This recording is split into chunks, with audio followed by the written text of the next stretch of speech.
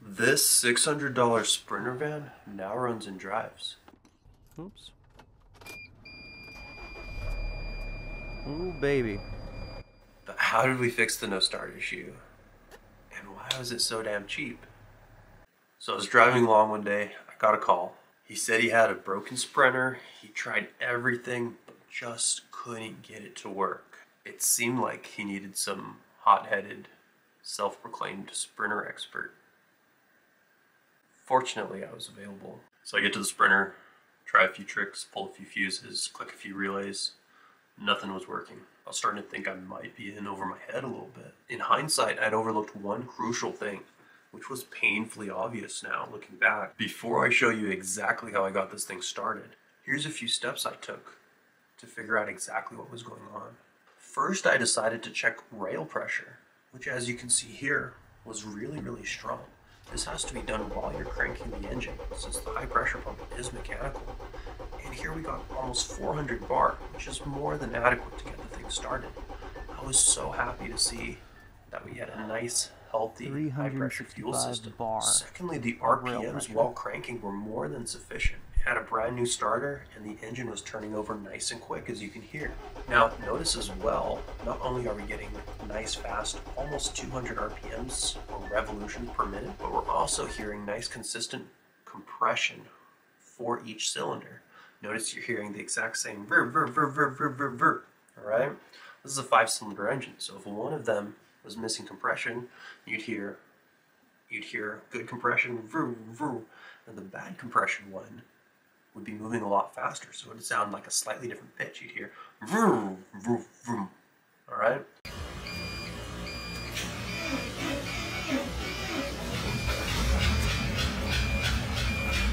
Okay, so our engine is healthy, our fuel system is healthy.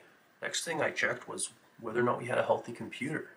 So I checked the injection quantity while cranking the engine. What this is telling me is whether or not the computer is in fact firing off those injectors. I found here the injection quantity to be zero, meaning the computer wasn't firing off those injectors at all. So this was a big clue. All I had to do was figure out what was preventing the computer from activating the injectors. So I knew I was getting close. So I decided to check the camshaft and crankshaft position sensors. These sensors need to be synchronized while cranking. This is a simple way of determining that the crankshaft and the camshaft are both moving in synchronization, as you can see here. Now, Phase when I did this test, I used a few scan tools and I checked it several times. This test has to be done while cranking Yeah. the engine, and that's going to be an important detail later. So, we tried this test several times, both with the factory scan tool and other high-end scan tools, and we always got the same code. That is a plausibility error. So at this point, we knew that lack of synchronization was keeping the engine from starting and or the injectors from firing. But we really didn't know what was causing that lack of synchronization. Could have been one of three things: timing chain, camshaft, and or crankshaft. Now, fortunately, the timing chain, chain looked very healthy. We had no reason to suspect that to be the case. So that left us with two things: camshaft sensor and or circuit, or crankshaft sensor slash circuit. Now, the owner had already replaced both these sensors on a hunch. This meant we likely had issues with one of the circuits. Given there was an old stored code for a camshaft sensor in the initial report, we decided to tackle that circuit first. Unfortunately, this led us down the wrong rabbit hole. Let me explain.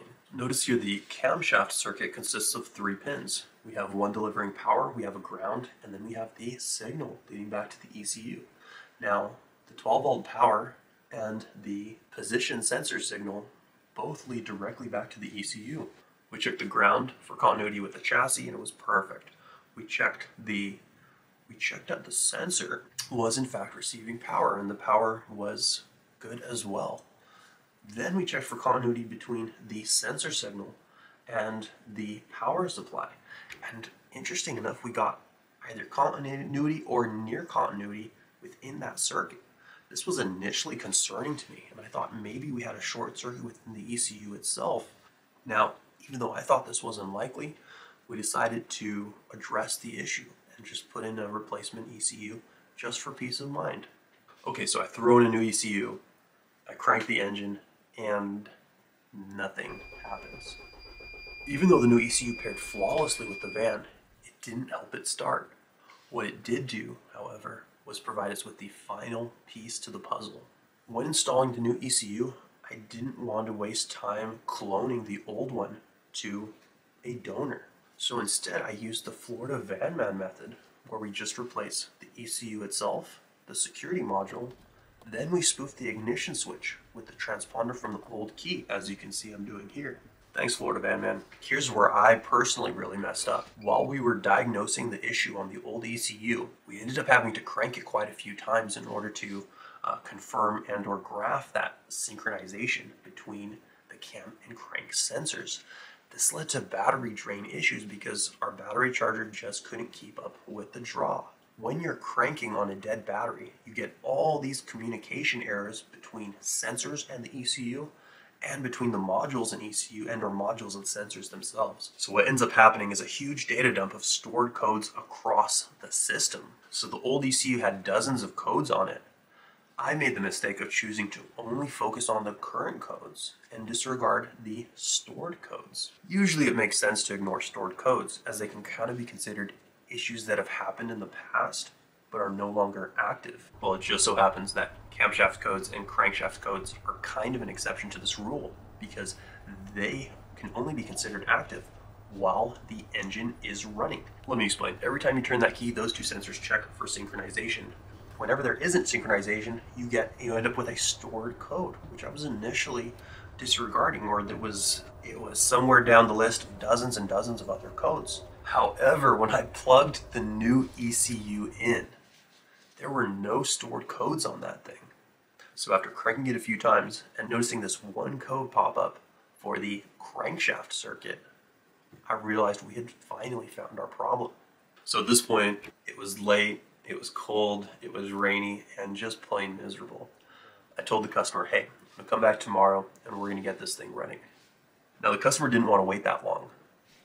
So in the morning I get this text saying, is one of these circuit wires supposed to show ground? I reply back, you're damn right it should. And that's when I knew we found our problem. So I suggest to him, hey, don't bother trying to run that wire back to the ECU. Just create an external ground that is straight from the ground on sensor right directly to the vehicle chassis. He did that, and five minutes later, boom, I get a text. Two words. It runs.